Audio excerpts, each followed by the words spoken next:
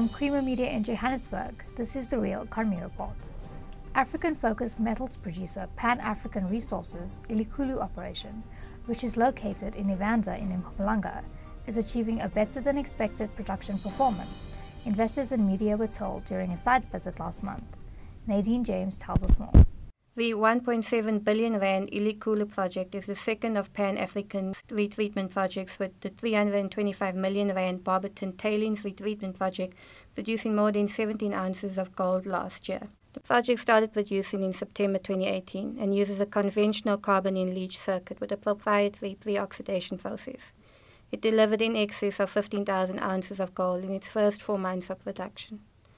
Given the project's relative success, management saw fit to increase its output. Elikhulu operations manager Oriel Shikwambana explains. The original Elikhulu operation was uh, designed to do a million tons a month.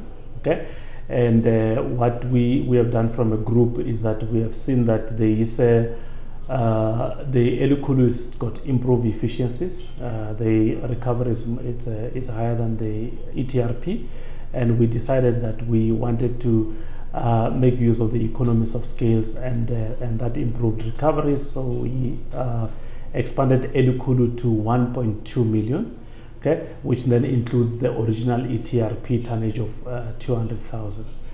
That uh, entails adding two additional tanks uh, in the plant, and then also putting up a, a new tailing system, which will be pumping down to Winkelhaak.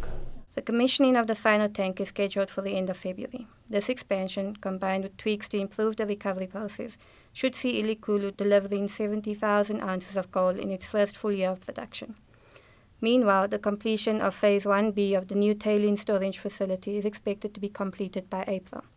Shikwambana points out that the retreatment of the three existing slime dams Kinross, Leslie Bracken, and Winkelhaak will result in the residues being redeposed to a single tailings storage facility site, which will reduce Pan African's ecological footprint. The new tailings, the construction, it's um, uh, we actually use the latest technology. Um, we've got our engineers, which are SLR, that uh, that have designed quite a few of those uh, tailings that have used the latest technology, and uh, it is using cyclone deposition technique. And uh, what it does is that as we're actually constructing it from a rehabilitation site, it does not need as much rehabilitation as the old tailings. So that's one of the benefits that we get from the tailings is that it does not generate as much dust as uh, the existing tailings uh, um, generate. And then it also doesn't need as much rehabilitation because of the way uh, we are going to, to be constructing it and the way that we're going to be building it up. Other news making headlines. South32 South Africa Energy Coal expresses concern about Eskom's fragile state.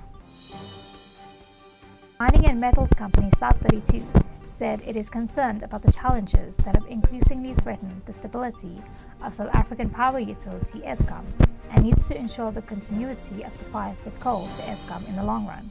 South Africa Energy Coal plays a critical role as a major supplier of coal to Eskom and also has a significant export position and we fully understand the need to ensure the continuity of supply to Eskom in the long term.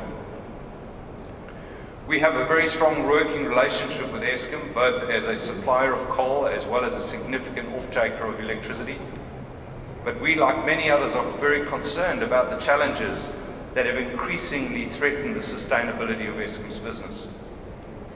Eskom continues to deal with these challenges and it is encouraging that the process of renewal is underway with the full support of the President and the Minister of Public Enterprises.